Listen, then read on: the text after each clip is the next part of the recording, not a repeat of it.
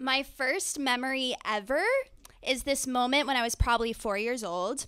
I stood next to my gate daycare teacher and whispered in her ear, I have a ball of poop in my underwear. she kneeled down and whispered back, That's okay, your mom should be here any minute. Not my problem, she may have well said. Apparently, I was also never potty trained. According to my mom, I just started changing my own diapers, and then one day I asked my parents, Should I just use the toilet like you guys? so when it came to poop in my youth, no one really gave a shit. Jump forward about 20 years, and I'm in my first serious adult relationship, which was a shit show through and through. However, it didn't start out that way. For anonymity's sake, we'll call this guy Gavin. Gavin and I met when he slept on my couch one weekend. He was visiting my roommate for spring break, and on the third day of his visit, we hit it off.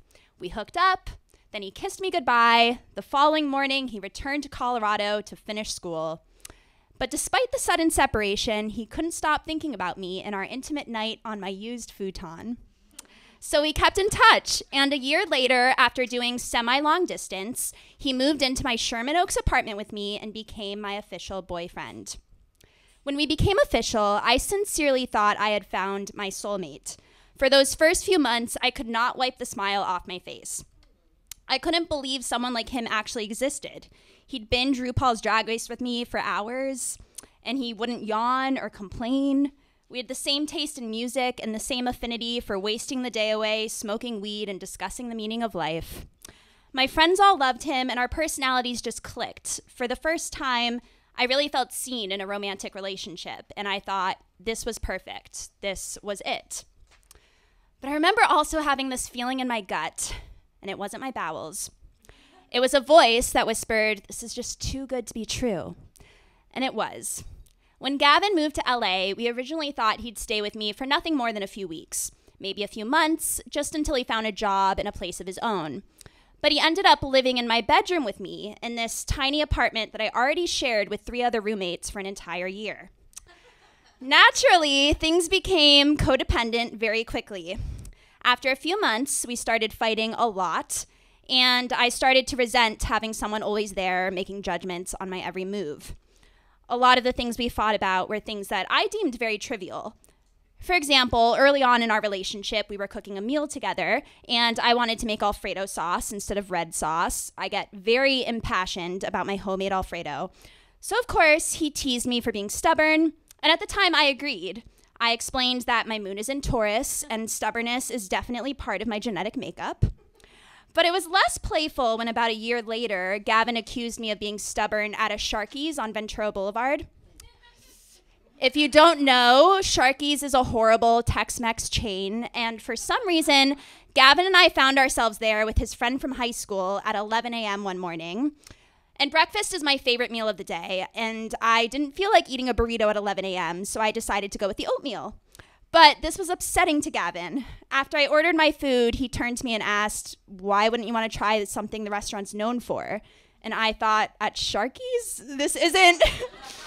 This isn't Gordon Ramsay's finest. Uh, so I tensed up. I got nervous. I explained that the oatmeal was the cheapest option and it's what I was in the mood for.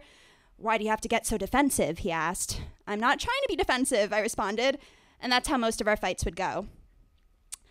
But it wasn't like these were just little tizzies. Maybe it started out that way, but our same capacity to talk about music for hours also manifested in a great ability to fight for hours and hours and hours.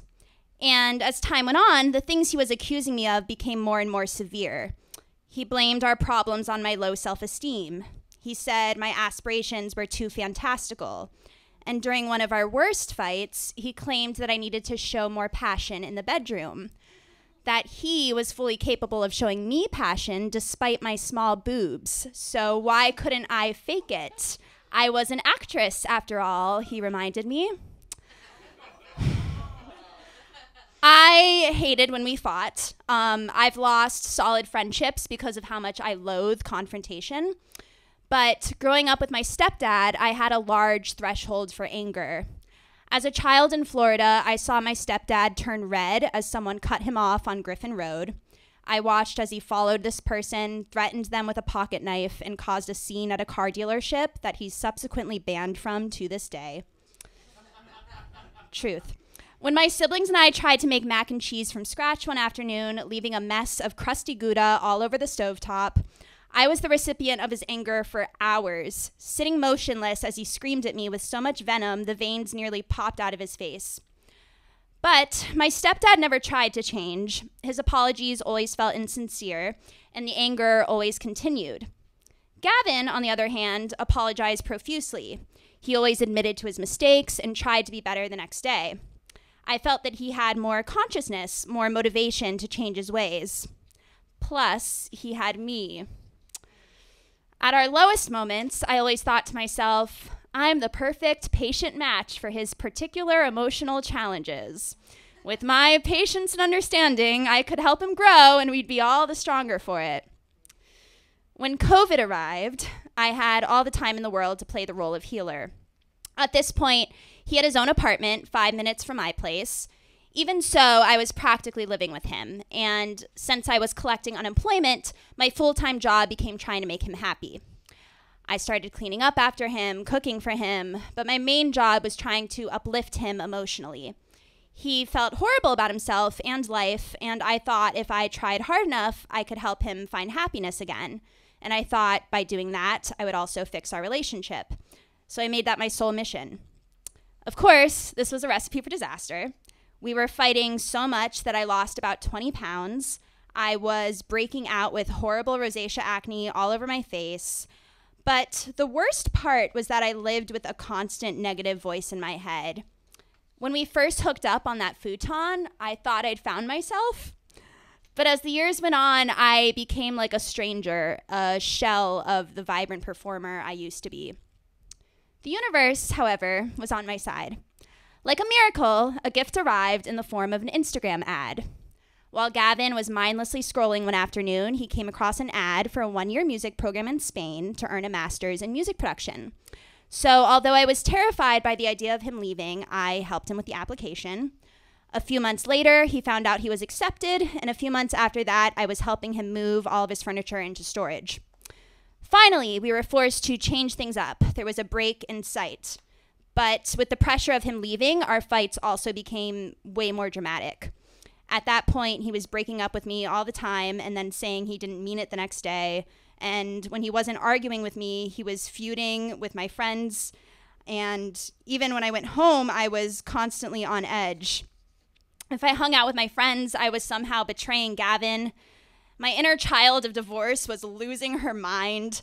I realized pleasing everyone was impossible, so I did the most melodramatic thing ever. I actually packed a suitcase and told my roommates I had to live with Gavin indefinitely until things got better between us. And I remember standing by the front door of my apartment with my suitcase like it was yesterday. I remember the confused looks on my best friend's faces and the nervous tension in my body. I wondered how I'd found myself in an episode of The Hills. Thankfully, things got a little better in the days leading up to Gavin leaving for Spain. He started saying things like, I hope you don't realize things once I'm gone. I know that I haven't treated you fairly, and I don't want you to have a change of heart when I leave. Throughout all of this, we always planned on staying together and doing long distance. And I cried so much in the months leading up to him leaving, but weirdly, in the days leading up to it, I felt a strange stillness within me. On his last day in LA, we sat on the floor of his mostly empty apartment while he made me CDs on his laptop. We cried and held each other and talked about how we hoped the distance would be good for us. We knew we needed a change, but we were both terrified that it was now actually happening. And internally, I honestly wondered if this goodbye was going to be our last.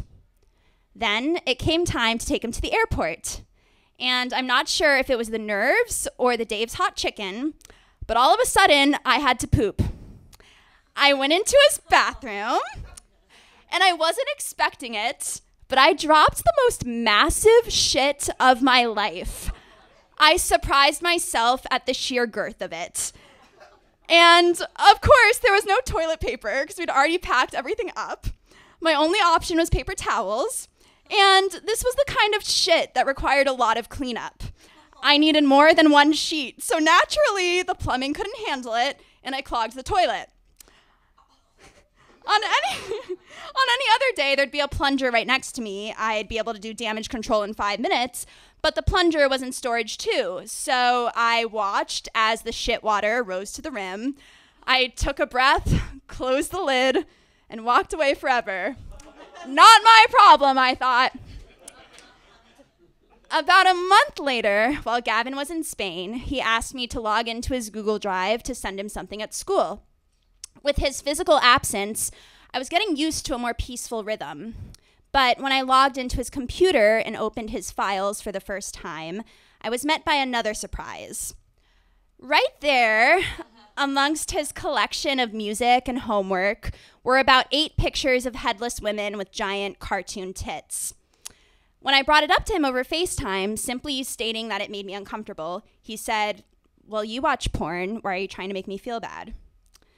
A few days later, he broke up with me over text message, and a few weeks after that, he was begging for me back. Only this time, I couldn't forgive him. I didn't take him back, and I haven't looked back since. And now, about a year and a half later, I truly feel more like myself than ever. I have my close friendships again. I feel purposeful, loved, and alive again.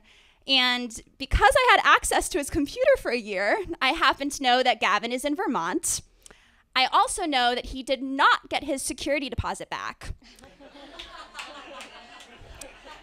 and you can blame a lot of things for that the hole in his window, the hole in his closet door, or even my nail polish stain on his bathroom countertop but I'd like to think it was the clogged toilet and my massive shit that really sealed the deal.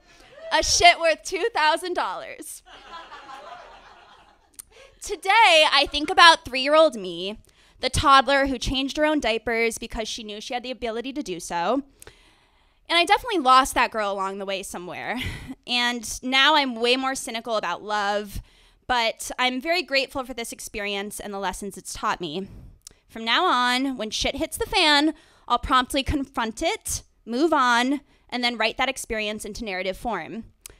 Because life is full of shit that stinks, but at least I know now, with profound clarity, that I've always been strong and independent enough to wipe my own ass. Give it up for Heather Cunningham!